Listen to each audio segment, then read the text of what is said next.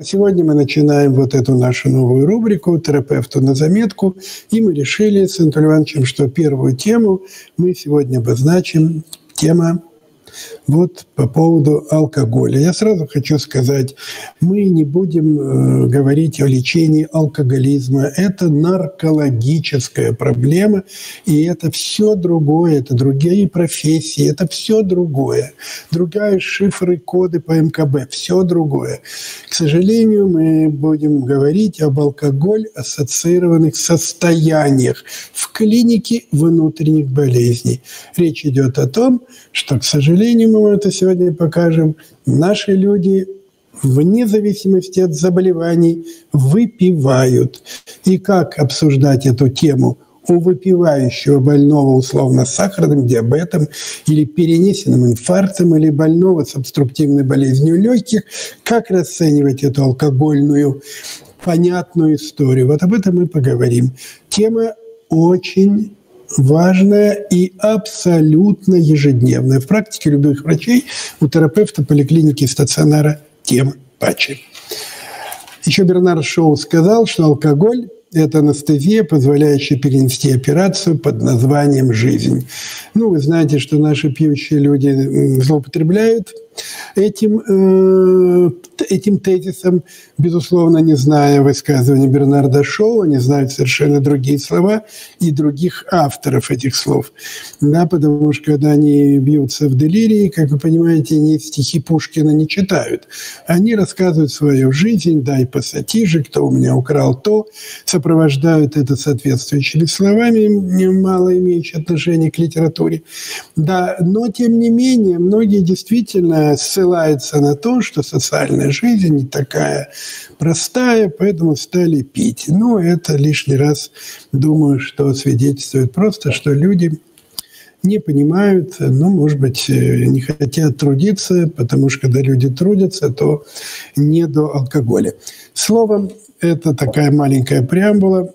А я бы хотел, чтобы Анатолий Иванович обозначил те вопросы, которые сегодня мы будем обсуждать. Аркадий Львович, э, я думаю, что вы абсолютно правы, сделав такое вступление. Алкоголь – это одна из проблем нашего государства. Ну, существуют легенды, что вообще русские – это пьющие люди. Но это не совсем так, потому что уровень потребления алкоголя, это четко показано, он связан э, с разными причинами. На первом, на первом месте стоит депрессия. Действительно, депрессия может, э, может быть основной причиной потребления алкоголя. Вот как выразился Бернард Шоу, это действительно так. А причин депрессии очень много. Недостаточный заработок, э, плохие отношения в семье, это неудавшаяся карьера и так далее, и так далее, и так далее. Но мы это разберем, Аркадий Ильич подчеркнул, не столько социальных позиций, сколько мы коснемся тем изменениям в организме со стороны различных органов и систем, которые, которые констатированы э, при, у людей, злоупотребляющих алкоголем. Вот основные вопросы у нас будут. Алкоголь как причина коморбидности. Э, и будем пользоваться э, такими дефинициями, как опьянение, отравление, абстиненция. Мы продолжим вот эту концепцию, автором которой является Аркадий Веркин, диагноз в дверях – алкогольной стигмы. Несмотря на внешнюю простоту, я вам должен сказать, это очень серьезная э, система, система, владея и пользуясь которой можно действительно ускорить правильный диагноз и правильную оценку человека, который входит к нам в кабинет. И оценка тяжести алкогольного состояния. Здесь Сегодня будут приведены, приведен, приведен целый ряд таблиц. Если они вас заинтересуют, вы приготовьте либо гаджет для того, чтобы сфотографировать их с экрана, либо действительно можно будет при, э, при повторном просмотре сегодняшнего нашего обсуждения, э, который будет вывешен на сайте «Амбулаторный врач», все это более детально посмотреть. Да, я бы хотела э, вот, акцентировать на последнее, потому что последнее имеет огромнейшее значение для той маршрутизации, которая должна быть с этими пациентами как в поликлинике, так и в стационаре. Потому что человек в алкогольном вот этом состоянии может может э, быть э, опасен, и надо понимать, когда эта опасность вот наступает. И вот об этом поговорим. Я вам сейчас покажу совсем неприглядную картину, совсем неприглядную картину, вот э, абсолютно традиционная для любого медицинского учреждения. Да, вы видите, что здесь больные наши э, с понятными, тяжелыми заболеваниями по совершенно немыслимым канонам пьют. Вот это невероятно. Очень трудно себе представить, что в Париже человек больной с сахарным диабетом будет пить водку или еще хуже его суррогаты. Но, тем не менее, обратите внимание, 30% пьющих имеют диабет. 33% процентов пьющих имеют обструктивную болезнь легких. Здесь более понятная история, потому что это русская наша пить, курить и говорить я начал одновременно. Это как раз сюда, в сторону Хоббл, потому что пьющие люди все деньги тратят только на, на алкоголь, на закуску у них нет денег, поэтому единственной закуской является сигарета. А так как это годами происходит, то и вот и формируется обструктивная болезнь легких. Да, 48% имеют аденом предстательной железы. Не случайная история. Пьющий человек имеет значительно чаще гиперплазию предстательной железы. Почему, не знаю, вероятно, какие-то есть влияния суррогатов, но тем не менее. Ну, а потом начинаются все осложнения, которые с этим связаны.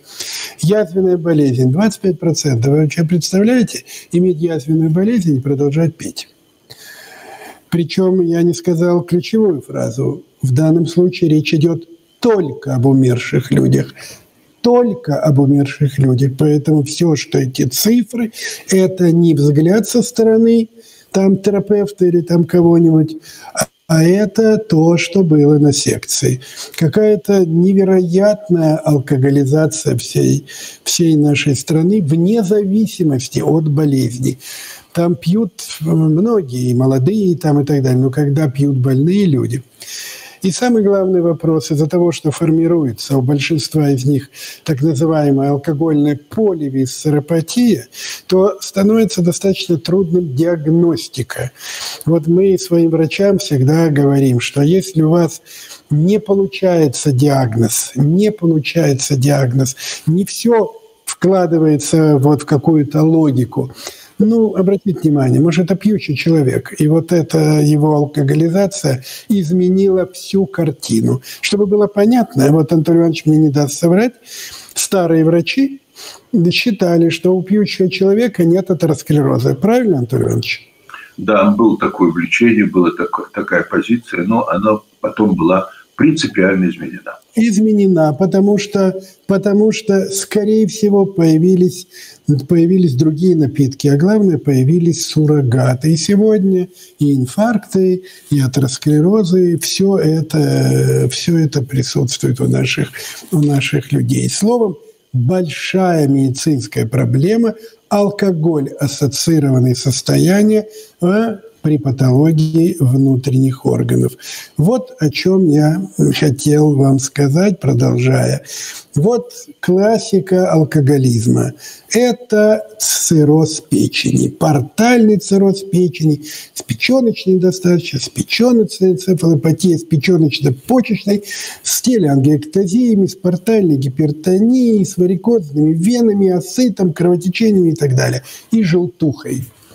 Так вот, сегодня в практике банального стационара, банального стационара, вот, который рассчитан на народ, понятно, мы не говорим сейчас о э, раритетных каких-то учреждениях, а вот то, что вот так вот. Да, очень трудно найти больного желтушным портальным циррозом печени. Не доживают потому что сегодня алкогольный модерн. Алкогольная энцефалопатия с отеком мозга, что приводит к смерти. Алкогольная кардиомиопатия с тяжелой сердечной недостаточностью. Циррозы печени в своей чередой, но не в основной. Тяжелый панкреатит с панкронекрозами, тяжелые нейропатии, нефропатии. Словом, огромная палитра, огромная палитра алкогольных поливисцеропатий. Вот это то, чего нас сегодня характеризует. И, вероятно, только одно. Я это много раз говорил. Если раньше пили, может быть, даже не меньше, но пили все-таки виноградное вино, портвейн. Плохой виноград, плохой очистки, но виноград. Ни у кого не возникали идеи в этот виноград добавить что-то. Сегодня пьют суррогаты. Причем уловить эти суррогаты невозможно. На каком-то этапе нас заинтересовал э, нас заинтересовал вопрос, э, что же туда входит, какие суррогаты. Ни одна самая привилегированная лаборатория Москвы не смогла нам ответить на вопрос, какие суррогаты. Потому что знать бы суррогаты, может быть, было бы какое-то противодействие. Неизвестно. Что доливают, никто, никто не знает. И это, наверное, отражается на возникновении алкогольных заболеваний. Вот смотрите. Первый вопрос, который обозначил Анатолий Иванович, это коморбидность. Вот посмотрите, это пьющий человек. Чего у него только нет. Цирроз печени, посмотрите, это печень какая невероятных и размеров, а цвет, и бугристая. Селезенка почти как печень. Варикозное расширение вены пищевода с кровотечением, вот так кровь в желудке. Огромных размеров сердца жировой дегенерацией. Желтушный нефроз. Дырка в голове в результате инсульта. Это разве не коморбидная патология? Это разве не задействованы все органы? Поэтому, отвечая на первый вопрос, алкоголь – это коморбидное заболевание, характеризующееся алкогольной поливисцеропатии. Мы обозначили следующий вопрос. Как вообще разобраться? Я вам хочу сказать в, в, в начале, что как только появляется алкогольная тема, то все остальные патологии, которые могут быть у больного, уходят на второй план. Итак, если у больного отравление этанолом, и одновременный инфаркт миокарда, первый диагноз, первый диагноз – это диагноз алкогольного отравления. Это очень важно. Это очень важно. Поэтому разобраться в дефинициях, вот э, мы сейчас вам постараемся рассказать. Да, Продолжите, пожалуйста, Антон Иванович. Э, сейчас мы вам покажем два слайда. На мой взгляд, они представляют большой интерес и теоретический, и практический, я бы сказал. Врач, э, собирая анамнез у пациента, должен четко себе представить, э, представить те дозы, которые пациент потребляет. Правда, в силу целого ряда обстоятельств, скажем так, ложной скромности, стыдливости, люди нам не всегда дают достоверную информацию. Но первое, на что я хотел бы обратить ваше внимание, это принципиальную позицию. Нет безопасных доз алкоголя. Вот давайте мы начнем с этого. Потому что иногда спрашивают, а вот сколько можно выпить, а это не может повлиять на органы там, и так далее, и так далее. Нет безопасных доз алкоголя. Люди настолько разные по своему генетическому составу, при генетической предрасположенности, поражением тех или иных органов, как ведущей патологии при употреблении алкоголя, что прогнозировать это достаточно сложно. Нет безопасных доз алкоголя. Это первое.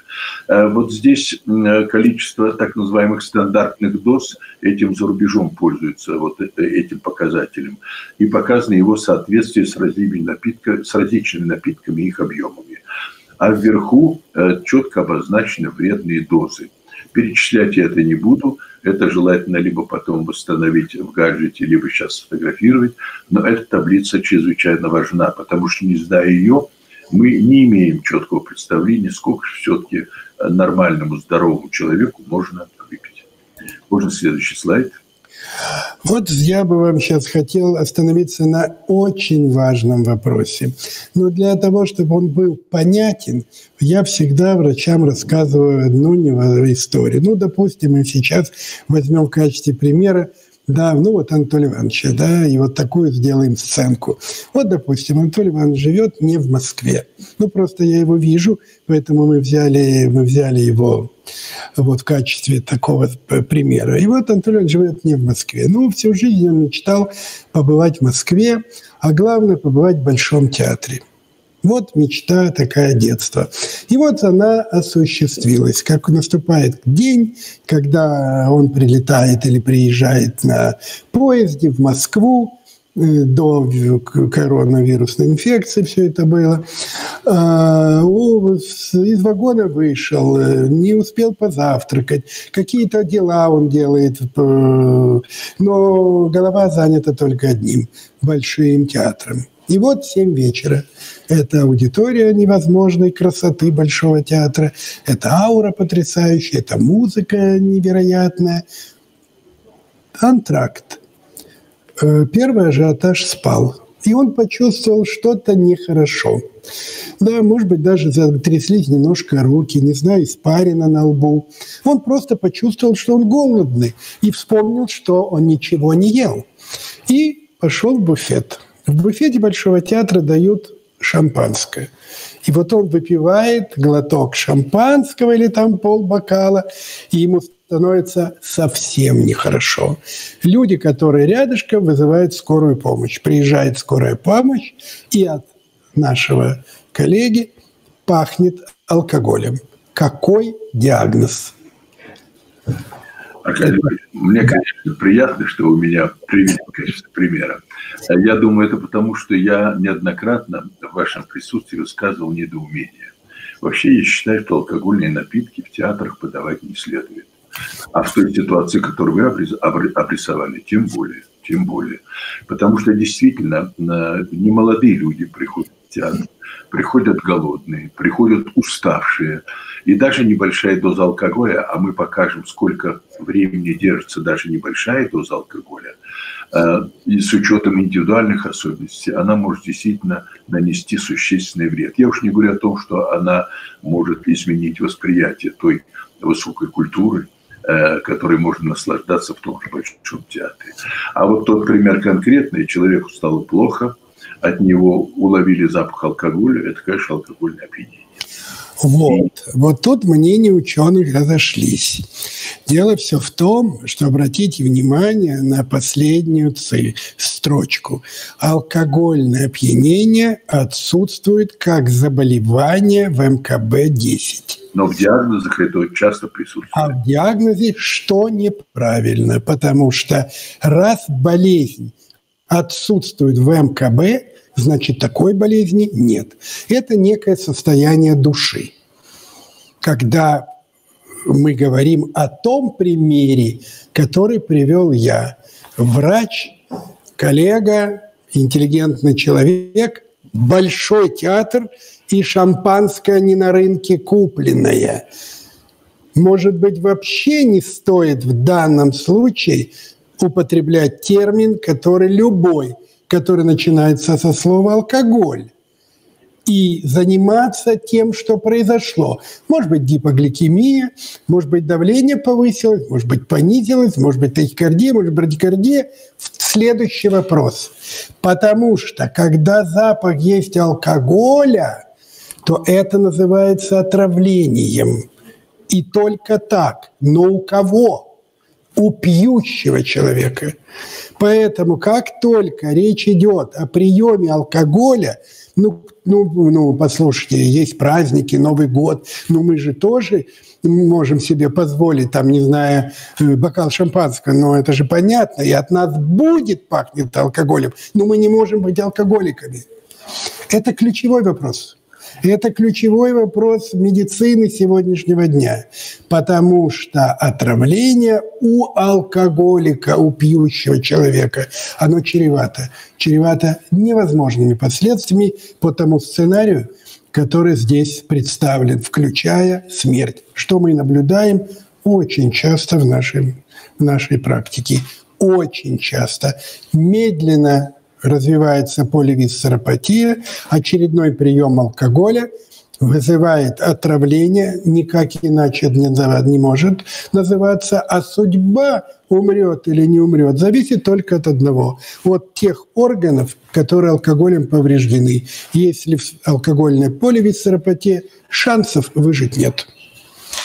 Шансов выжить нет. Поэтому очень важно в практической работе иметь возможность определения стигмы, и вот тот опросник, который Анатолий Иванович сейчас прокомментирует. Опросники сейчас э, уже активно внедряются в нашу повседневную практику. Конечно, это большая нагрузка на врача, это верно. Во-первых, э, запомнить их все невозможно, мы это прекрасно понимаем. Э, нужно знать, какие опросники нужно держать под рукой в справочном варианте, ну, например, в гаджете, и нужно правильно ими уметь пользоваться. Но я вам должен сказать, что опросники, они объективизируют нашу диагностику и степень тяжести того или иного процесса. И как бы они нам с вами не казались, глубоко уважаемые коллеги, э, избыточной нагрузкой при нашей повседневной ситуации дефицита времени, мы все-таки их должны знать и ими по возможности пользоваться. И вот что касается скрытой алкогольной зависимости. вот для диагностики скрытой алкогольной зависимости, хронической, необходимо получить э, более трех положительных ответов из тех, которые здесь представлены. То есть практически нужно, чтобы почти на все пациент ответил, ответил положительно. Я не буду зачитывать этот слайд, Э, его достаточно пробежать глазами, вопросы понятные, э, но хотел бы еще раз подчеркнуть, опросники нужно использовать.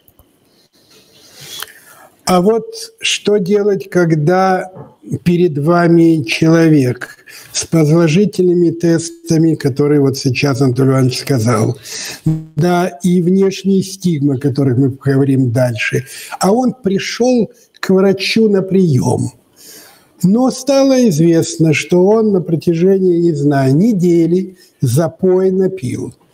Затем он пробудился, закончились деньги, и проходит 3-4 дня, и у него появляется все то, что он нажил – в тень ту неделю, когда он пил запоем. Ну, например, в зим, зимнее время отморожение. Они пьют и засыпают там на снегу. Пневмонии, пожалуйста. Травмы, пожалуйста.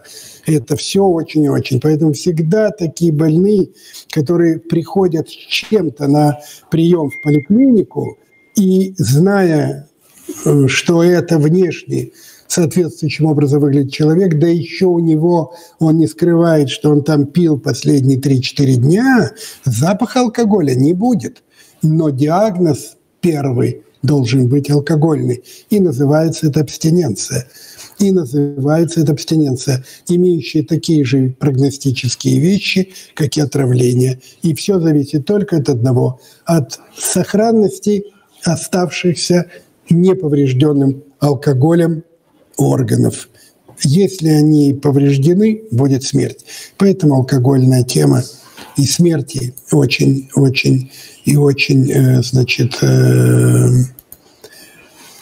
и вот то, что я пытался вот так вот э, с Анатолием Ивановичем вместе изобразить. Итак, алкоголь ассоциируем состояние их два – Первое называется отравлением, второе называется абстиненцией. Отличие в одном – пахнет или не пахнет алкоголем. Это первое. Но второе очень важное – это социальный статус, а именно статус, что это человек, который не пойми где живет и так далее, имеющий стигмы – алкогольного длительного заболевания. И вот только тогда мы имеем возможность писать отравление этанолом и его суррогатами или э, алкогольная абстиненция. А после, пожалуйста, гипертония, ишемическая болезнь, диабеты, не имеет значения что, в том числе и острые заболевания. Первая болезнь идет алкогольная. Это как бы новая ну, условно, новая медицина, ее нужно сдать. Кстати, Анатолий Иванович, посмотрите и прокомментируйте. А, да, это МКБ-10, алкоголь-зависимые заболевания. А, здесь следующие группы. Это а, слева обозначено алкогольные заболевания печени. И дано их перечисление. Посмотрите, какая палитра тех или иных изменений развивается на фоне хронического приема алкоголя. А второе – это алкоголь, а, алкогольные заболевания центральной нервной системы. Здесь и полинейропатия алкогольная, и дегенерация центральной нервной системы, вызванная алкоголем.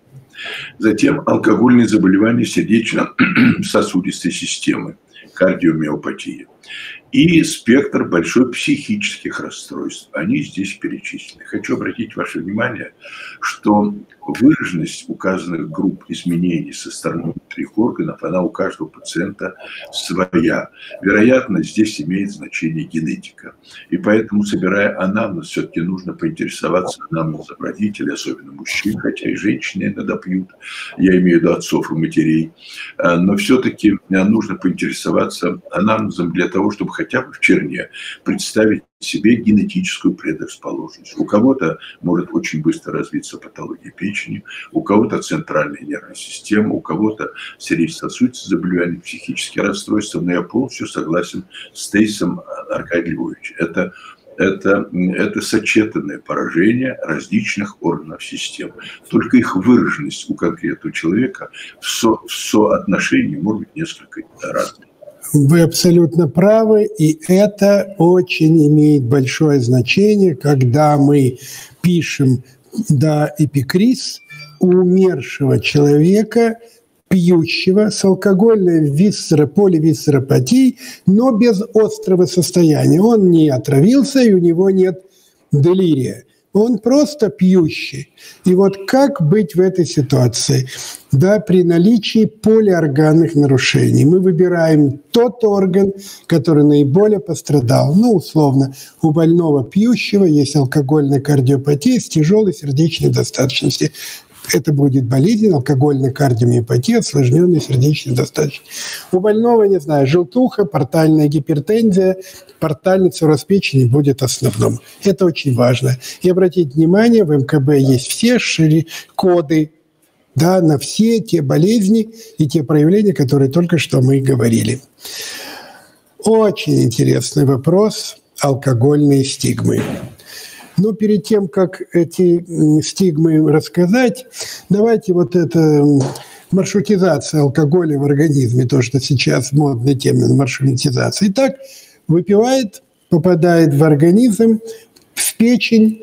Тут всевозможные легенды ходят, что у кого-то там такие ферменты, сякие ферменты, и поэтому кто-то пьянеет, кто-то не пьянеет, кто-то буянит, кто-то не буянит. Но это, надо, это, это разговоры не беспочвенные. У всех у всех действует эта знаменитая алкоголь дегидрогеназа, и у всех она превращает алкоголь в ацетальдегид. В ацетальдегид. А это затем превращается в уксусную кислоту, ну и далее в углекислый газ и воду, который выводится из организма. Но для того, чтобы эти процессы шли успешно, скорость поступления алкоголя в организм должна полностью соответствовать скорости его переработки. И ежели это не происходит, накапливается ацетальдегид, уксусная кислота, и возникает то, что возникает полиорганные нарушения. Посмотрите, чем опасен ацетальдегид. Антон Иванович, пожалуйста. Да, ацетальдегид, а, он вызывает много неприятностей в организме. Он замедляет время реакции, снижает остроту зрения, нарушает восприятие вкуса, запаха и слуха угнетает функции э, центральной нервной системы, страдает физическая работоспособность, психические возможности ограничены у этих людей и провоцируется, как мы об этом неоднократно э, напоминали, провоцируется заболевание печени. И вот следующий слайд – да, сейчас, Антон Иванович. Ну и ежели вы посмотрите повнимательнее, да, то, может быть, вы поймете, что когда человек, ну, условно, кто-то из э, неалкоголиков, да, ну, чуть-чуть э, выпил лишнего, то вот это все может быть. Но алкоголика это носит критический характер. И, и называется это отравлением этанолом. Очень важно понять. Пожалуйста. И вот очень интересно сейчас будут две таблицы. Это время распада алкоголя у мужчин. Ну, существуют легенды, что пиво – это вообще всего ничего. А вот посмотрите, даже при употреблении относительно небольшой э, дозы, здесь условные э, э, цифры 1, 2 до 5, 2 часа бутылка пива она реализует все свои нежелательные действия в организме. А я хочу обратить ваше еще внимание на то, что, например, безобидное, на первый взгляд, шампанское, оно может быть до 8 часов сохранять свой эффект, и этот ацетальдегид, он отрицательно влияет на органы и системы. Например, вино, бокал 200 мл при наличии вот этих показателей эм, коэффициентов, он может быть до 14 часов. И, пожалуйста, если можно, следующий слайд. Это у мужчин. Это у мужчин, Анатолий Иванович. Да-да-да, это у мужчин. Ну, да. на слайде написано, поэтому, да, вы правы, да. мужчин. А вот теперь у женщин, посмотрите. У них, у них распад алкоголя существенно замедлен. Я бы сказал, практически где-то не меньше, чем в 2-3 раза по целому ряду показателей. И вот посмотрите, пиво от 6 часов одна бутылка, от 6 часов. Я уж не говорю о более продолжительных сроках э, вино от 7 часов, водка от 10 часов, а вот э, шампанское, безобидное шампанское, которое женщины всегда любят, считают божественным праздничным напитком, от 4 часов. То есть, еще раз подчеркиваю, у женщин период распада алкоголя в 2,5-3 раза дольше, чем у мужчин. Поэтому, когда поступают наши э, водители автотранспорта.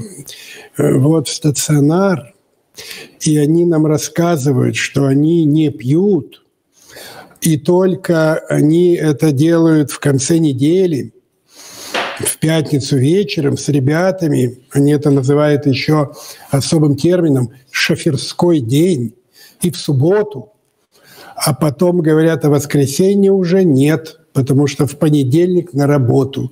Так вот, надо понимать, что в понедельник, да и во вторник еще, в зависимости от выпитого, сохраняется ацетальдегид в крови и все его э, последствия, которые вызваны им.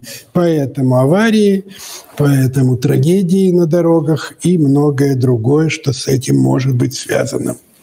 А это еще одна сетка ЛИГО – это выявление соматических эквивалентов э, длительного употребления алкоголем. Вы видите, что и при отравлении у больных, и при абстиненции, ну, по количеству баллов, баллов много. Ну, вот тут перечислены самые-самые такие частые внешние проявления, которые вот можно увидеть, многие из которых можно увидеть, то, что мы называем диагноз дверей. Но я бы хотел обратить внимание, здесь нет, потому что это, к сожалению, сделано не по нашим трафаретам, а по европейским. Здесь нет важных компонентов. Здесь нет зубы, состояние зубов. Я уже говорил, что отсутствие зубов бывает в нескольких ситуациях. Ну, цинги, слава богу, уже нет, поэтому мы это не обсуждаем. Алкоголь может быть проявлением, ой, извините, эм, отсутствие зубов может быть проявлением сахарного диабета, есть такой симптом при диабете адвентия, да, полная или частичная адвентия зубов. Это может быть, быть при грыже, диафрагмальной грыже, когда постоянно рефлюкс кислого содержимого попадает в ротовую полость и возникает пародонтиты и так далее, и так далее, и зубы выпадают. И третье – это алкоголь. Поэтому вот эта внешняя сторона плюс отсутствие зубов, плюс надо посмотреть на ногти, а если возможность есть еще и на пальцы ног, и понять, что там э, обработка этих э, мест не было никогда в жизни. Да еще один очень интересный есть симптом – это рубец посрединной линии живота, там чуть ниже пупка или там на уровне пупка, да, как следствие прободной язвы. Потому что прободная язва, как правило, связана с алкогольной болезнью, да. И вот я такую шутку рассказываю всегда, что если ребята алкаши встречаются за круглым столом э, вот в своей компании, то каждый задирает рубашку. Ну и вот если под рубашкой нет рубца, то про такого говорят, он чужой среди своих. Вот так, чтобы вам было еще я люблю, люблю говорить э, женщинам особенно, что если заходит мужчина, которая никаким образом не может вызвать сразу никаких эмоций позитивных, ни с первого, ни со второго взгляда, не забыть спросить про алкоголь. Или если э, сидит женщина на приеме, заходит мужчина, и она так себе мысленно представляет, а если бы он бы вошел бы в подъезд, и мы бы с ним там встретились, что бы я захотела сделать? Побыстрее убежать и закрыться в квартире? Вот проведите параллель между этой внешности, и тогда будет понятно. Ну, много существует разных стигм, здесь они тоже перечислены. Часть они там корреспондируют с предыдущим слайдом. Ну, вы видите, что здесь э, огромная палитра, да потому что алкоголь не действует на один орган. Это алкогольная поливисцеропатия. И все органы задействованы в этом. Ну, вот молодежь, если нас смотрит, знаете, этот вот клип «Борода решает вопрос». Да, решает вопрос. Очень часто, очень часто вот, вот это четыре симптома – борода, усы, отсутствие зубов и сломанный нос. Очень часто история, связанная с алкогольными э, ну, длительным употреблением, да, ну, это тоже, это тоже один из таких интересных моментов. Ну и еще последнее, что мы хотели. Э, мы сейчас, я все время повторяю одно и то же, Анатолий Иванович, мы говорим про людей пьющих, а не про нас с вами. Про пьющих со стигмами. С запахом или без запаха? У пациентов, да, пожалуйста. У пациентов вот с теми маркерами алкоголизма, о которых вы говорили, э, существует набор э, синдромов. Это, конечно, вегетативный синдром, расшифровывать его не будем. Нарушение гемодинамики, прогрессирующее причем. Нарушение сознания, прогрессирующее причем. И гипогликемия. Вот это основные синдромы, которые позволяют нам убедиться в том, что действительно человек употребляет алкоголь. И когда мы эти синдромы диагностируем, и не всегда можем, вот Аркадьевич уже, на мой взгляд, справедливо обращал на это внимание, вот когда мы не можем разобраться, в чем беда, в чем беда, почему такая богатая вегетатика, почему нарушена гемодинамика, почему с сознанием что-то не то, мы все-таки должны обязательно, внимательно э, иметь данные анамнеза по алкоголю. Не всегда от пациента, иногда от членов семьи. Но это очень важно. У нас диагностическая концепция будет более правильная, более обоснованная. И в зависимости от выраженности этих симптомов и определяется тяжесть алкогольного заболевания. И это очень важно, потому что если эти синдромы есть, ну, этого человека надо госпитализировать, потому что что у него будет через 2 часа, через 5 часов, через 10, никто не знает. И прогноз малоблагоприятный. Ну, вот тут э, для тех, особенно кто работает в стационаре, да и для поликлиники, есть несколько градаций, то, что мы называем распределение потоков и маршрутизация в зависимости от наличия или отсутствия симптомов, наличие или отсутствие анамнестических сведений о том, что это было за жизнь до этого, и в зависимости от того, что он пил, как долго пил и количество. Ну, вот для кого это будет интересно, можно так написать. Вот это схема маршрутизации человека на любом этапе медицинской помощи, ну, в стационаре в частности. Ну вот то, что вот мы хотели вам э, поведать, мне кажется, это достаточно злободневная тема. Эм, я хочу вам сразу сказать, что вот все, что вы сегодня услышали, вы сможете посмотреть в наших рубриках на сайте терапевту на заметку, либо амбулаторный экспресс, либо вебинары. Ну, в данном случае мы сегодня обсуждаем алкоголь из раздела терапевту на заметку. Ссылка на э, презентацию и на наше видео будет в описании, вот на баннере, который вы это увидите. Пожалуйста, смотрите. И, ну вот, э, пишите нам, если у вас будут какие-то вопросы. Антон Иванович, вам большое спасибо.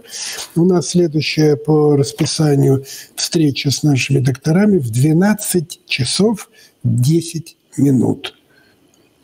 У нас есть только один комментарий Большое спасибо спикерам. Большое спасибо. Еще одно комментарий. Огромное спасибо. Да, к сожалению, вопросов нет, но, может быть, они будут. Но благодарность поступила.